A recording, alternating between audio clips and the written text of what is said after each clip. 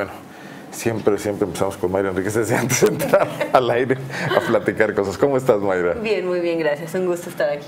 ¿Trabajando fuerte? Sí, de hecho ahorita venimos de una feria de servicios en Villas de San Juan, este, donde tuvimos actividades de salud, de deporte, de activación física y también un programa que estamos intentando implementar de, de leche subsidiada, apoyando la economía familiar ante los incrementos a la gasolina, al transporte, pues se vio afectada la economía familiar y estamos tratando de apoyar, así que de allí venimos. El, tema del transporte, vaya tema, ¿no? Siempre te pregunto al final por cómo estás de salud, pero hoy te voy a preguntar al principio cómo vas con tu tratamiento. Bien, muy bien, gracias a Dios ya me cambiaron el proceso de la quimioterapia. Este, ya me empiezo a recuperar, espero que ya se note. Este, ya empiezo a Nunca se te ha notado para mal. ¿eh? Pero ya es una, una mucho menos agresiva, más sencilla y más fácil de llevar. Entonces ya muy contenta y ya lista para volver a estar reaccionando este, en las calles también y en el sol, que era lo que tenía prohibido. Muy bien, y qué bueno porque ya dentro de poco habrá campañas. Oye, Mayra, a ver, bueno, primero los temas nacionales. Eh, estás, eh, estás en el Congreso y en las comisiones donde se está debatiendo la ley de seguridad interior, la regulación de la participación del ejército en tareas, pues digamos, de seguridad pública, de hecho, ¿no? Eh, un tema pospuesto por 10 años después de que inició esta guerra contra el narco, pero que también mucha gente dice, no tenemos por qué tener esa ley, no hace falta, es el fracaso de las policías y más bien se trata de que las policías funcionen y no de que el ejército a hacer la chamba de las policías. Y desde luego ya los que tienen muchas prevenciones por el tema de derechos humanos. ¿no? Así es. Es un, un tema muy complicado donde efectivamente ya se ha presentado este dilema. Podemos lograr la seguridad teniendo tan resquebrajada la seguridad pública municipal y cuando tenemos tanta desconfianza también en las policías estatales en el país, pues bueno, la solución es en la institución que sí es confiable para los mexicanos, como es la Marina, como es el Ejército. Sin embargo, pues Acción Nacional ha estado propugnando porque esto sea de carácter temporal, que los apoyos que sean a las entidades sean tanto fortalece sus capacidades propias, tanto en los municipios como en, como en los estados, y ese es el debate. Pero desafortunadamente nos hemos enfrentado a una presión por parte del grupo parlamentario del PRI que con un falso dilema está alegando de que se urge aprobarla porque si no la aprobamos así va a haber mucha inseguridad. Pues bueno, ahorita está el ejército participando, no se ha podido avanzar demasiado, pero esto es por la falta también de estrategia este, coordinada y, y, única para todo el país. Entonces, bueno, me parece que es un falso dilema y lo que nosotros estamos buscando es que haya debate, no que se pretenda presionar diciendo que si hay algo de inseguridad o si esta se incrementa tiene que ver con la falta de esta ley, porque eso es falso. Más bien lo que tenemos que hacer es una revisión completa de las políticas de seguridad y la legislación al respecto. Me parece que el problema de la inseguridad tiene varios componentes pero uno de ellos que no es menor es la muy mala estrategia para enfrentarla por parte de los poderes públicos. y te voy a mencionar algunas cosas. Eh, ¿Cuánto nos tardamos en la reforma penal en el país? O sea, en preparar y en capacitar primero a las fuerzas eh, que procuran justicia, a los ministerios públicos y a los, y a los agentes ministeriales, también a los jueces, ¿no? Y hoy vemos que en todas partes los gobernadores, antes la ineficacia de sus policías ministeriales para comprobar los delitos, le achacan a la ley el problema. Bueno, lo que, lo que es cierto es que esa reforma no buscaba que todo el mundo fuera encarcelado, al contrario, lo que buscaba era pues quitar todo el problema que tenemos de sobrepoblación en los centros penitenciarios y lo que buscaba también era un sistema garantista, porque también del otro lado está una serie de violaciones a los procesos, un ministerio público que era omiso, este, que en algunos casos investigaba y en otros casos y en otros casos este, no lo hacía, el hecho de que la confesión fuera una prueba tan este, importante en el proceso y que ésta pudiera ser obtenida por medios ilícitos, este, bueno, todo todo eso se trató de combatir y se busca una reforma que no tenía por objeto combatir la inseguridad, lo que tiene por objeto es la procuración, la impartición de la justicia y que realmente se sancione quien ha cometido un delito con las pruebas este, suficientes. Y si no que no fuera que no fuera encarcelado desde el primer momento y que resultara cinco años después o como el caso de las mujeres a las que luego nada más se les pide perdón este muchos años más y que al final se les dijera nos equivocamos este de eso se trataba. Del otro lado está todo el tema de seguridad que es otro tema diferente y donde desafortunadamente pues no ha habido ni los recursos recursos, ni tampoco las estrategias generales ni, ni nacionales Pero le estás para combatirlo. dinero bueno al malo. o sea, sabes que tus policías son deficientes, pueden ser corruptas, pueden estar eh, penetradas por el crimen organizado, y sin embargo, ahí está el Fortasec, ahí están todos los programas que les dan más dinero a esas, a esas corporaciones. Es que en realidad ni siquiera es tanto, son solamente algunos municipios los que se ven beneficiados con estos recursos, y por el otro lado todo el recurso ha sido centralizado. El gobierno federal ha pretendido monopolizar toda la seguridad pero no tiene ni siquiera forma de respondernos en el tema del crimen organizado, que es lo que le corresponde. Y ahora también pretende hacerse cargo de las cuestiones de los delitos comunes este, esa, es, esa es la pregunta que nosotros nos hacemos. Si no puede atender ni lo que le corresponde, ¿por qué está centralizando los recursos y dejando desprotegido a la población que vive en un municipio ante la delincuencia? Esa es la de diario, la de que te roban tu casa, la de que vas caminando y te atacan. Y que además ya se, se, ha hecho mucho más violenta y que ya ha puesto en riesgo la integridad de las personas. Entonces, bueno, hay una mala estrategia en la distribución de los recursos, en las competencias, en las capacidades. No se ha pretendido de ninguna forma fortalecer ni revisar las policías municipales, sino solo desaparecerlas. Y yo lo que veo de fondo es que lo que ha pretendido el gobierno federal es solamente controlar el recurso, no resolver el problema. Este, a, eso se ha dedicado. ¿No van a madrugar periodistas, ecologistas? Eh, todos los días estamos intentando despertar muy temprano antes de que nos demos cuenta que el dictamen ya lo están pretendiendo subir a un orden del día. Cada semana nos anuncian una fecha, no quieren que se abra debate, el argumento es que ya tiene que salir que tiene que salir en forma urgente porque si no esto se va a seguir creciendo, pero no están dispuestos a preguntarle ni a los especialistas, a los investigadores, a las organizaciones de derechos humanos, a los gobernadores, a los municipios, a los eh, ayuntamientos, no están dispuestos a debatir el tema. Y eh, por otro lado, y desafortunadamente están pretendiendo hacer un uso, me parece, partidista y político del ejército, cuando lo mandan a que declare y nos pide y nos exija, cuando esa es una tarea que debería ser el secretario de Gobernación y no, no encomendársela a nadie más y mucho menos contaminar las únicas instituciones que son creíbles todavía para los mexicanos. Muy bien. ¿Algún otro tema federal antes de pasar a otras cuestiones? Pues nada, que nosotros vamos a seguir peleando eso, pero vamos a seguir también con el dedo en el renglón de que queremos policías municipales fuertes y queremos los recursos para que así sea. Pero esa no es tarea también de los alcaldes y de los gobernadores. Así es. Vemos que se vemos un intercambio de acusaciones intenso entre todo el mundo y no una chamba de coordinación. Exactamente, y porque, eh, porque desafortunadamente se ha utilizado ya la seguridad desde el punto de vista político. Hay entidades a las que ya ahora que gobierna el PAN, ya se ha salido la, la Fuerza Federal, han pedido incluso que se retire el ejército, como es el caso de Tamaulipas, y lo dejan solo, sabiendo que es uno de los estados clave en el combate al crimen organizado. Este, hay otros municipios este, donde tampoco se les da ningún tipo de apoyo y en cambio hay otros donde hasta se les ayuda a ocultar las cifras, como el caso de Estado de México. Primer lugar en secuestros, primer lugar en feminicidios, pero para evitar la alerta de género, pues simple y sencillamente desclasifican los delitos. Entonces, eso, eso no es posible. Se está haciendo un uso indebido de la información en materia de seguridad, se está ocultando, se está maquillando. todo esto entra ya todo esto ya es un tema político. ¿no? Es un tema desafortunadamente electoral y político e insisto, están pretendiendo que las instituciones que deben de ser imparciales y confiables estén entrando en un juego que no les corresponde y que no deberíamos de permitir. Ah, pero el tema está muy delicado en el país, o sea, un nuevo gobernador perseguido por la justicia, ya en las fichas de Interpol, César Duarte, una reacción ahí de intentar golpear a Javier Corral porque se fue a jugar golf, que no tiene nada que ver con robarse miles de millones de pesos. Y también el tema de un fiscal en funciones, acreditadísimo, famoso, poderoso. Nadie se dio cuenta nada que el fiscal de Nayarit, Edgar Vieira, era el jefe del cártel de Nayarit. Y aquí sí te preguntas si la Procuraduría General de la República no tenía información de ningún tipo, no sabía, no tiene coordinación con, con el gobierno de Estados Unidos en el combate al crimen organizado. Eso no es creíble y, y es cuando te das cuenta del manejo político.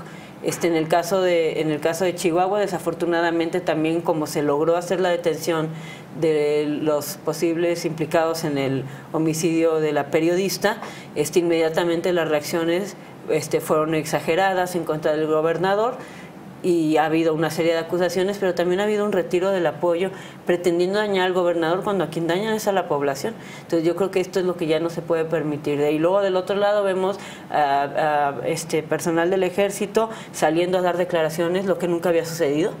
este, pidiendo que se, que se aprueben y, lo- y debatiendo contra un posible candidato. Bueno, creo que esto ya está, queda claro que está ingobernable el país y que Peña Nieto carece de total liderazgo, de credibilidad, que él lo sabe y que por eso está usando a otros actores. Creo que también pasa lo mismo con el secretario de Gobernación. Bueno, y Guanajuato, Guanajuato, ¿cómo, lo- cómo ves Guanajuato? Te voy a decir el panorama. Bueno, ya empezaron algunos actos de precampaña medio encubiertos, ¿no? En San Luis de la Paz, esta semana, un desayuno encabezado por Fernando Torres Graciano y Juan Manuel Oliva. Todavía no se dijo la palabra mágica de candidatura ni nada, pero ahí estaba la gente reunida. Vemos las redes sociales y todas las huestes en torno a la Secretaría de Desarrollo Social ya tienen hasta logotipo. donde resalta el DS, se llama con decisión y es la D y la S que significan Diego Silva, ya están ahí. ¿Se va a ir de las manos esto? Estamos en marzo de 2017. Mira, a mí me parece que lo que ha, ha sido es que es un poco exagerado también toda esta pretensión de regular la participación de aquellos a quienes que aspiran un cargo, porque evidentemente para aspirar a una posición ¿Pretensión de quién? tiene de cualquier candidato de cualquier partido ¿Pero de los órganos electorales? En, en- no en la ley, en la ley que estamos pretendiendo regular en exceso. Este, porque cualquiera que quiera acceder a una posición tiene que ser visible y tiene que ser acciones que sean conocidas. Entonces, luego nos, nos hemos puesto demasiadas trabas, hasta en la participación en los medios, este, creo que luego resulta hasta absurdo y buscamos entonces los artificios para brincarnos. Creo que es- eso es peor, creo que lo legítimo sería que quien aspire lo diga. Este, asuma con recursos propios, Pero, este, pero, sin usar recursos bien, públicos. pero hay un doble juego. Primero todos se muestran preocupados y van y reforman la ley, ¿no? Eso Y luego todo el mundo trata de burlar lo que la Eh, ley es- dice. esa es la parte Pues, que me- Pero la hipocresía viene como que de la clase política. Por eso, y lo estoy diciendo como, da- o sea, me parece que eso está muy mal, porque el mensaje que se da es que pone reglas para luego brincártelas. Entonces yo creo que lo que deberíamos de hacer es una reflexión seria de si tiene sentido toda esta sobreregulación a la que hemos llegado, que no ha tenido ningún efecto positivo y que por el contrario lo que da la idea de impunidad o de falsedad en la participación en la política. Yo creo que lo legítimo es que quien quiera lo diga de frente, asuma el costo de decir que pretende ir por una posición determinada y sobre todo que lo pague con sus propios recursos. Creo que el, Que tema, que el tema es el O uso sea, que de digas, los soy secretario de Desarrollo Y Social de lunes interesa, a viernes. ¿está bien? Aquí están las cuentas claras de eso. Y sábado y domingo, con otro Yo- dinero que no es ese, hago y campaña. con otro personal que no sea ese y con otros programas Pero cuando que no ves al ¿no? secretario particular de Diego Silva encabezando la campaña, sí dices, tienes tus dudas, ¿no? Porque saque hora. Bueno, también lo lógico es que tú tengas en tu equipo a los de confianza, ¿no? Este, eso también, a mí me parece lógico. Entonces, creo que, que Y no ya va a situar el PAN revisar. en una posición de fragilidad. Digo, aquí no hay oposición, mucha. Pero jurídicamente pueden empezar a darte lata como partido político.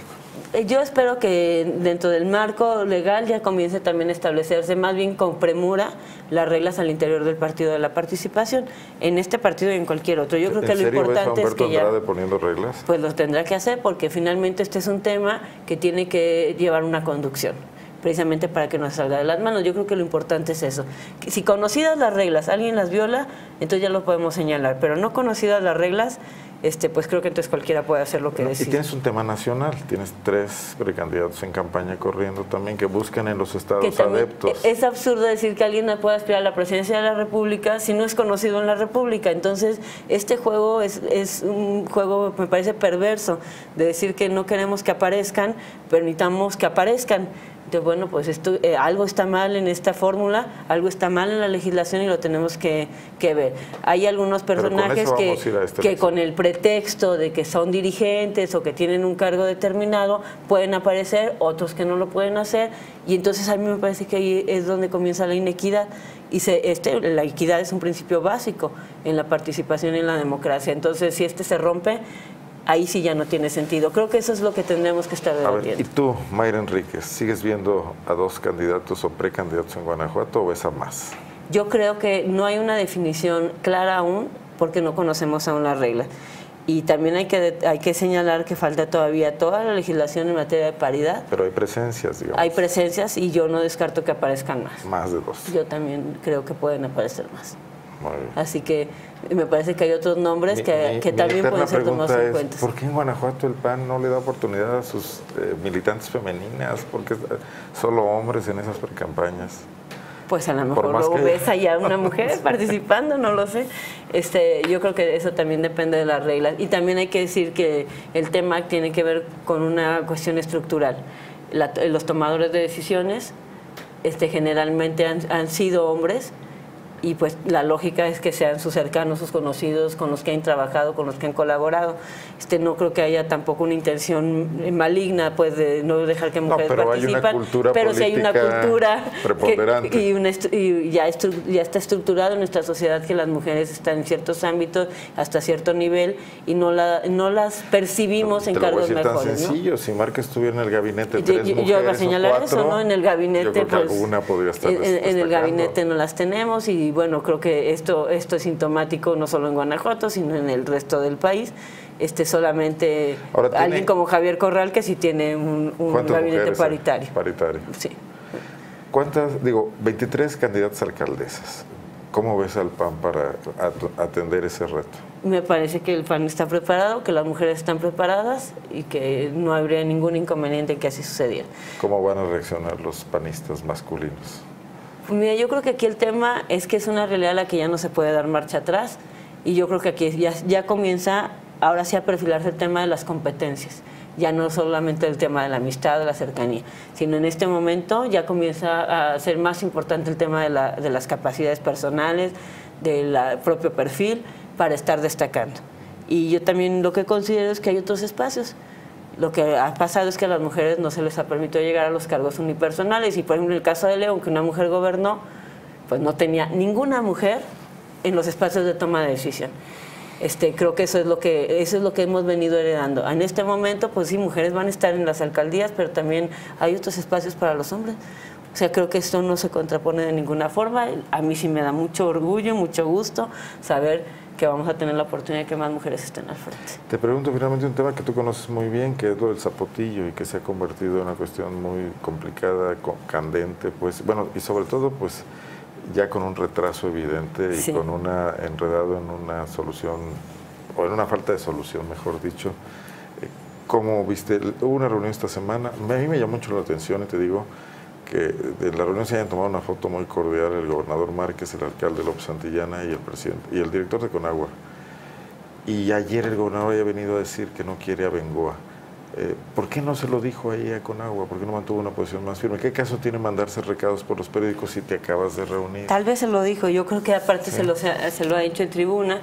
Aquí yo sí tendría que señalar que este es un tema que se ha debatido en, el Congreso, en la Cámara de Diputados. Hemos estado al pendiente, particularmente Ricardo Sheffield y yo, de este tema, este, y me parece que ha sido señalado con toda claridad que si la empresa es insolvente tenemos que hacer el cambio de la empresa, pero ese no puede ser el motivo por el que no avance Zapotillo. Y del otro lado tampoco podemos dejar que los tintes este, electorales de alguien que pretende, que, de Jalisco que pretende una posición diferente este también nos esté afectando. Y, creo que también el, el, asunto por ahí está de fondo.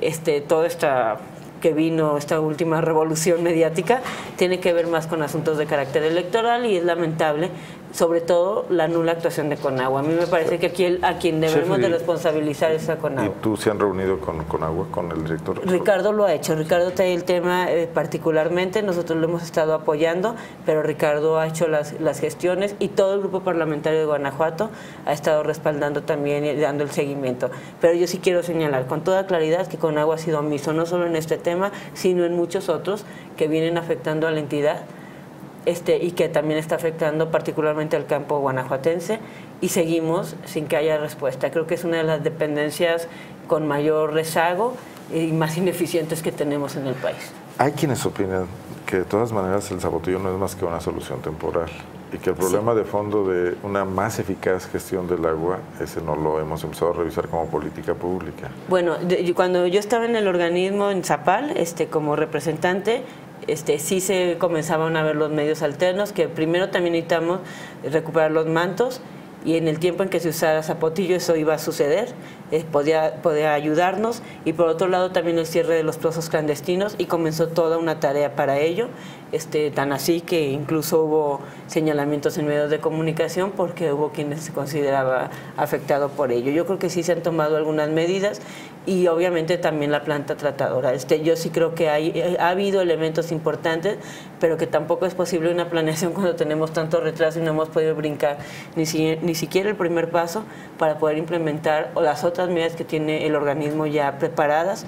Este es un tema en el que han intervenido investigadores especialistas, el propio organismo, el INPLAN, la sociedad civil, ha, tenido una enorme participación, tiene una construcción de largo plazo, este, pero desafortunadamente está estancado desde hace algunos, de algunos años. Seguirán en el tema, me imagino. Y yo creo que tenemos que seguir peleando con ello y la verdad es que también las omisiones que tiene el gobierno federal en este sentido, las complacencias que tiene para la falta de trabajo de Conagua, pues son evidentes para toda la población. Mayra, muchas gracias. Muchísimas gracias. Vamos a una pausa, como siempre, un abanico de temas a tratar con Mayra Enríquez a todos los cuales le entra, sin duda. Gracias. ¿eh? Muchas gracias. Regreso.